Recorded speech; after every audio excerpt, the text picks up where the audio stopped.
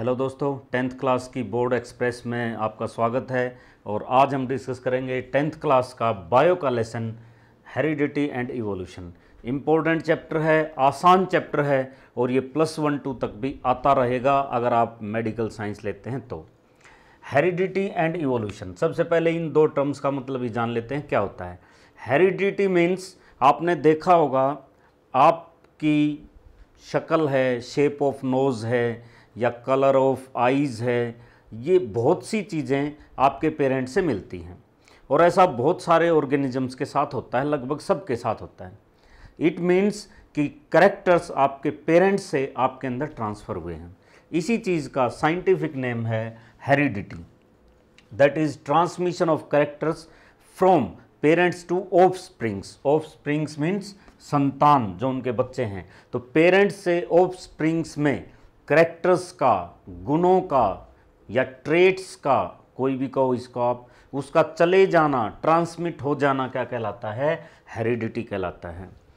और जब ये गुण जाते हैं, जैसे पेरेंट्स आपके पेरेंट्स से आप मिलते जुलते होंगे, लेकिन आप एग्जैक्ट सेम नहीं हो सकते। कुछ ना कुछ अलग ज़रूर मिलेगा, कुछ डिफरेंसेस आएँगे।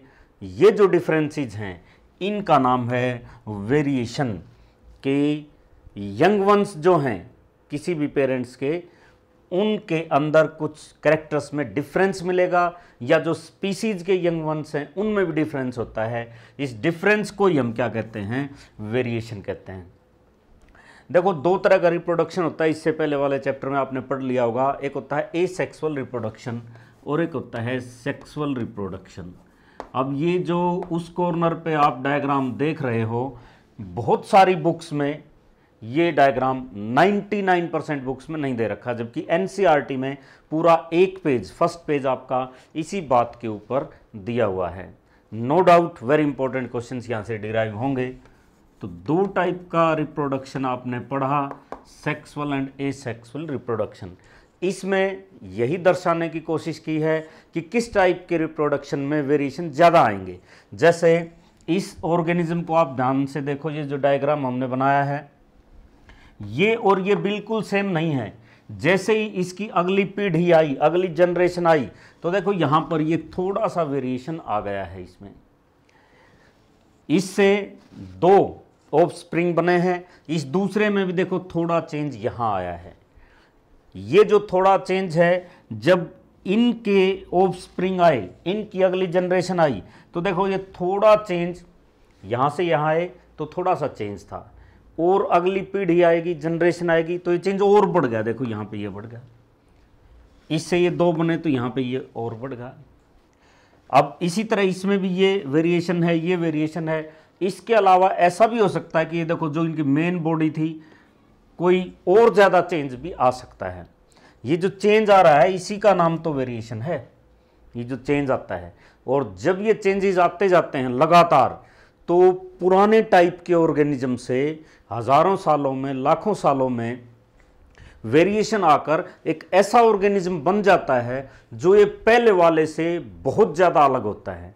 इस चीज़ का नाम होता है इवोल्यूशन ये जो दो टर्म्स थी, इनका मीनिंग मैं यहाँ समझा रहा था आपको। इवोल्यूशन क्या है?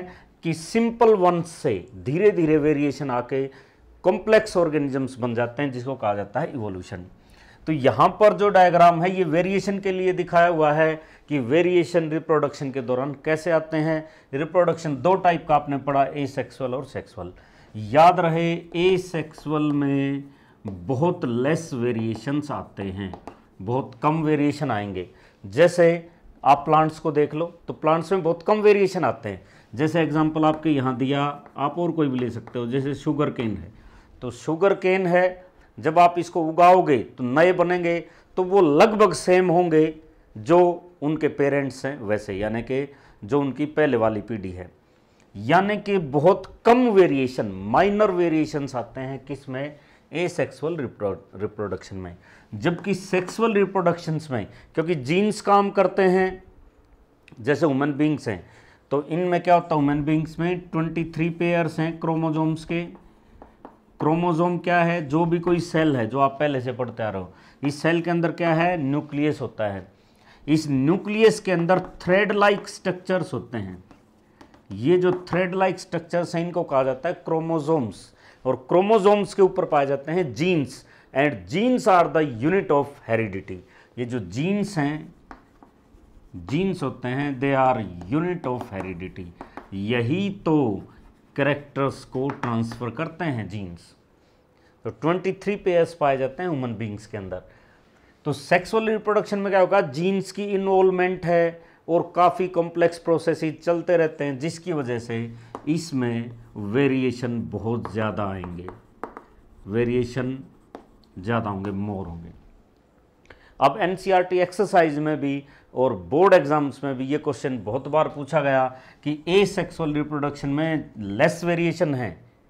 चलो कम है, लेकिन वेरिएशन तो है। ऐसा क्यों है? इसका क्या कारण है?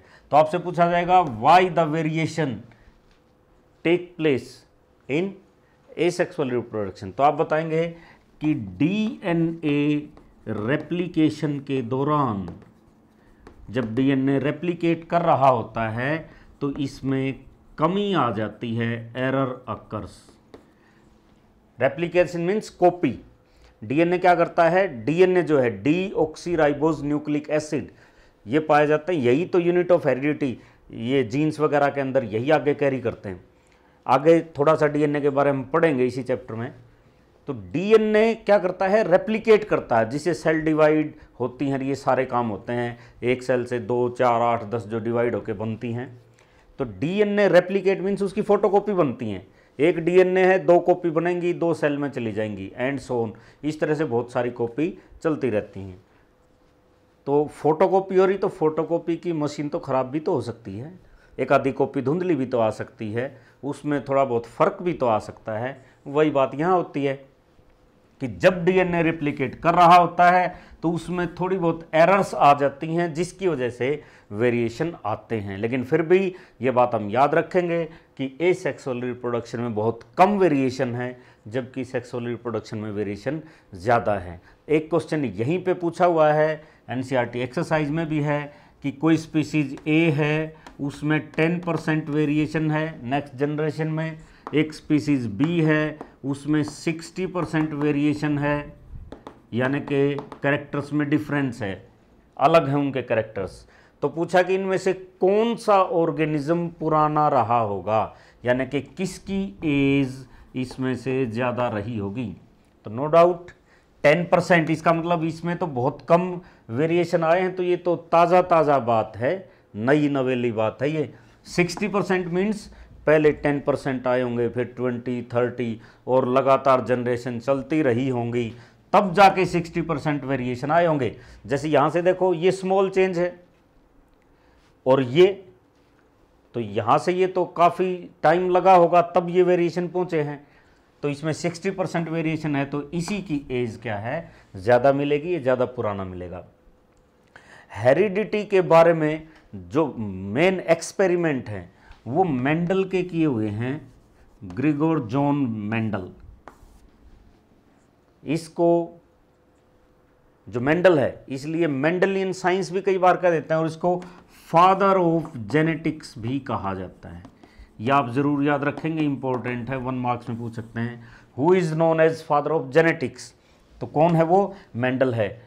हाँ आपसे जेनेटिक्स भी पूछ सकते हैं। व्हाट इज़ जेनेटिक्स तो आप बताएँगे जेनेटिक्स क्या है? ये बायो की एक ब्रांच है बायोलॉजी की, जो हमें किसके बारे में स्टडी करवाती है?